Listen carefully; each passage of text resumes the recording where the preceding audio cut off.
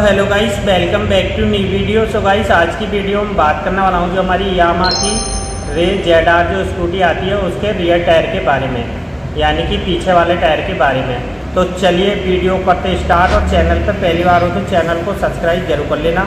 और मैं आपको बताऊँगा क्या प्राइस है और कितने साल की गारंटी होती है और कितने हज़ार किलोमीटर चलता है ये टायर तो सभी जानकारी मैं आपको इस वीडियो में बताऊँगा। और मैं आपको टार्च चेंजर मशीन से फिट करके भी दिखाऊँगा, जो हमारी यामा की रे जेड आर जो स्कूटी आती है तो उसमें रियर टायर को टार्च चेंजर मशीन से फिट करके भी दिखाऊँगा। और tubeless tyre torch changer machine से ही फिट होना चाहिए, क्योंकि जो हमारा रिम होता है उस पर स्क्रेच वगैरह भी नहीं आती है और फिटमेंट भी प्रॉपर आ जाती है। तो चलिए मैं आपको दिखाता हूँ कि कौन सा टायर है जो हमारी यामा की रे जेड आर जो स्कूटी आती है, उसके लिए बेस्ट टायर है। तो चलिए मैं आपको दिखाता हूँ। तो ये देखिए गाइस ये टायर है जो हमारी यामा की रे जेड आर स्कूटी आती है, उसका रियर टायर होता है, यानी कि पीछे वाला टायर होता है। और मैं आपको इसी टायर के बारे में इस वीडियो में बताऊँगा क्या क्या आपको फीचर्स मिलते हैं इसमें देखने के लिए और क्या क्या आपको बेनिफिट मिलेंगे इस टायर से। तो सभी जानकारी मैं आपको इस टायर के बारे में इस वीडियो में बताऊँगा और चैनल पर पहली बार हो तो चैनल को सब्सक्राइब ज़रूर कर लेना। तो ये देखिए गाइस ये एमआरएफ का टायर होता है और एमआरएफ का जो टायर होता है अच्छा टायर होता है। अगर इसके मॉडल की बात करें तो मैं दिखा देता हूँ इसका जो मॉडल होता है। तो ये देखिए गाइस ये जयपर के नाम से आता है ये टायर और जयपर जो टायर होता है, इसकी जो घिसाई होती है बहुत ही कम होती है, यानी कि सर्विस में बहुत ही अच्छा टायर होता है। अगर इसकी साइज़ की बात करें तो मैं दिखा देता हूँ इसका जो साइज़ होता है। तो ये देखिए गाइस 110 90 10 इसका साइज़ होता है, जो कि हमारी यामा की रे जेड आर स्कूटी जो आती है, उसका टायर का साइज़ होता है। और ये 61 जे रीडिंग का टायर होता है गाइस जे जो होती है, हमारी हाई स्पीड रीडिंग होती है, यानी कि इसकी जो स्पीड रीडिंग है हंड्रेड की स्पीड रीडिंग होती है। और 61 जो होती है, हमारी लोडिंग कैपेसिटी होती है, यानी कि इसकी जो लोडिंग कैपेसिटी है टू हंड्रेड होती है। और ये देखिए गाइस ये ट्यूबलेस टायर होता है और ये रोटेशन होता है, यानी कि हमारा टायर इस तरीके से चलना चाहिए, यानी कि फिट होना चाहिए। एंड गाइस अगर इसकी मैनुफैक्चरिंग डेट की बात करें तो ये देख सकते हो गाइस ये चार अंकों में इसकी मैनुफैक्चरिंग डेट होती है। पहले जो दो अंक होते हैं, ये हमारा बीक होता है, यानी कि सप्ताह होता है, और लास्ट के दो जो अंक होते हैं, ये हमारी सन होती है, यानी कि छत्तीसवां बीक 2024 का टायर बना हुआ है ये। अगर इसके पैटर्न की बात करें तो ये देख सकते हो गाइस काफ़ी अच्छा खूबसूरत पैटर्न है एंड रबड़ क्वालिटी भी इसकी बेस्ट है, और large land area and extended shoulder है इस टायर के, और स्पेशल कंपाउंड वाला ये टायर होता है तो बहुत ही बेस्ट टायर है, आप इस टायर को डलवा सकते हो। अगर आपके पास जो यामा की रे जेड आर स्कूटी जो आती है, उसके लिए बहुत ही बेस्ट टायर है। एंड गाइस अगर इसके किलोमीटर सर्विस की बात करें तो ये 25 से तीस हज़ार किलोमीटर आपको सर्विस देगा। अगर इसकी गारंटी की बात करें तो छः साल की इसकी गारंटी होती है मैनुफैक्चरिंग डिफेक्ट की।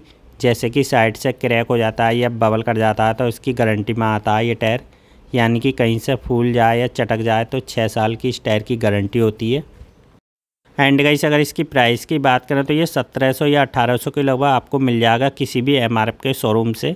तो जब भी एम का टायर ख़रीदें तो एम के शोरूम से ही ख़रीदें, क्योंकि जो हमारी गारंटी होती है सिर्फ़ एम के शोरूम से ही मिलेगी, बाकी किसी अदर शोरूम से नहीं मिलेगी।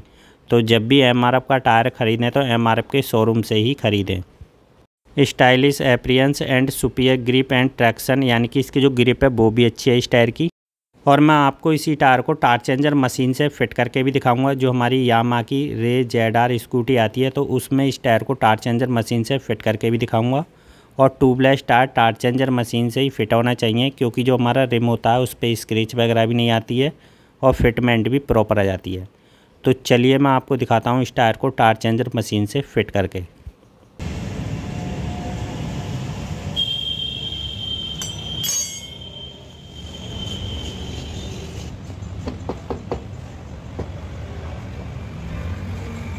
いいですね。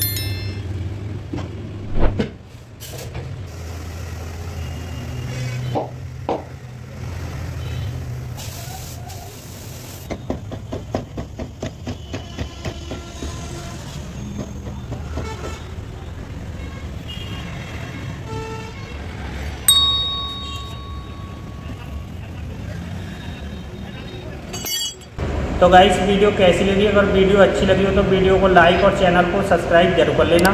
और कमेंट बॉक्स में भी आप बता सकते हो कि कौन सी गाड़ी के लिए कौन सा टायर बेस्ट है। तो मैं आपको उस टायर की वीडियो बनाकर डाल दूँगा और कमेंट बॉक्स में ही बता दूँगा कि कौन सी गाड़ी के लिए कौन सा टायर बेस्ट है। तो चलिए आज की वीडियो में बस इतना ही। मिलते हैं नेक्स्ट वीडियो में। तो वीडियो को ज़्यादा से ज़्यादा शेयर करें लाइक करें और कमेंट करें। मिलते हैं नेक्स्ट वीडियो में। Thanks for watching this video